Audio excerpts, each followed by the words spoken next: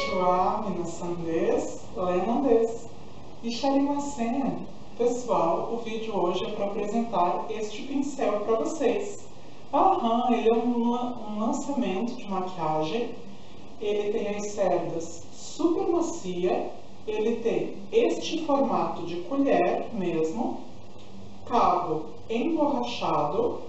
E ele é utilizado para você passar a base, para passar blush e deixar uma cobertura perfeita. Você tanto pode usar ele passando em direção à orelha, quanto você pode também fazer movimentos circulares com ele. Ele é muito macio. Eu descobri ele em um, alguns tutoriais de maquiagem do Japão, que eu sempre estou vendo. E eu achei ele aqui na minha cidade, porque ele é lançamento. Então, se você tem dificuldade com a cobertura perfeita da sua pele com a base, utilize esse pincel. E se você quer esse pincel para fazer sombra ou contornos, eles têm menores. Eu comprei este aqui que aplica a base. Inclusive, eu apliquei a minha base branca com ele hoje. Super fácil de lavar, você só faz movimentos assim com alguma pressão e ele sai toda sujeira, ok?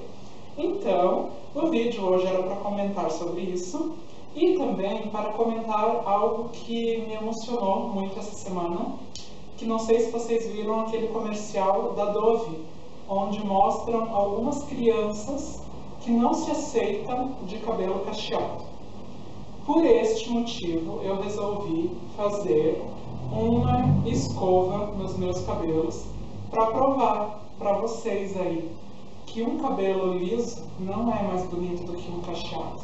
Se você, como eu, tem o cabelo cacheado, aceite ele, pois se ele lá em cima lhe fez de cabelo cacheado, ele lhe acha perfeito assim. Então, não tenha vergonha dos seus cabelos. Olhe o meu cabelo liso, como não fica tão legal. E lembre-se, só quem tem cabelos cacheados na fantasia das histórias são os anjos. Vai saber se você não é um anjo por ter os cabelos assim? Então aceita o seu cabelo, não tenha vergonha e não queira ter esse cabelo liso, esticado. Aceite seu cabelo, é muito lindo assim, ok? Então eu sou super a favor a esse comercial da Dove, que eles incentivam as meninas a ter os cabelos naturais cacheados e os meninos também, não precisa cortar curto. São lindos assim, tá bom? Então, beijos a todos. Se gostaram do vídeo, deixem aqui comentários, curtam, se inscrevam no meu canal e se vocês querem saber mais sobre esse pincelzinho aqui, mais a fundo, como utiliza, tudo, pode deixar seus comentários aqui embaixo que eu explico para vocês. Ele é super simples, tá?